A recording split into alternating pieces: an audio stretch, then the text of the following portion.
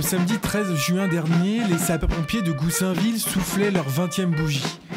Un anniversaire fêté avec solennité et convivialité. Solennité d'abord avec la passation de commandement du centre de secours et convivialité ensuite avec un après-midi portes ouvertes au grand public pour le plus grand bonheur de nombreux visiteurs.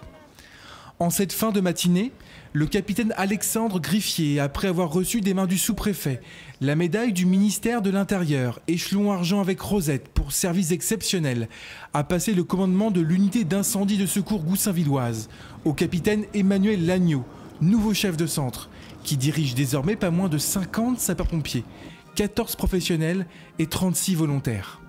En présence de Denis Debeau-Schunenberg, sous-préfet de Sarcelles, d'Alain Louis, maire de Goussainville, d'Anthony Arciero, conseiller départemental du Val d'Oise, représentant du canton de Goussainville, et des autorités du service départemental d'incendie de secours, la cérémonie protocolaire s'est déroulée sous un soleil estival et a permis de donner le top départ de cette journée spéciale pompiers où curieux et visiteurs ont pu tout naturellement venir à la rencontre de leurs soldats du feu.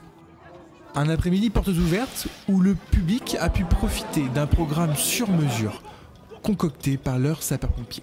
Donc vous trouvez euh, en premier temps une animation secourisme, un stand euh, accident domestique, un stand parcours à fumée, un stand parcours ludique. Vous avez la montée à l'échelle, vous avez un stand Madagascar, car on a certains pompiers qui aident les pompiers de Madagascar. Nous avons un stand sur les dons d'organes et un musée à l'intérieur de la caserne avec euh, exposé les anciennes tenues, les anciens moyens de communication, ainsi que certaines photos. Mission accomplie pour nos soldats du feu goussainvillois. Ils ont su prouver une fois encore l'attachement et la proximité qui les lient quotidiennement et durablement à leurs habitants.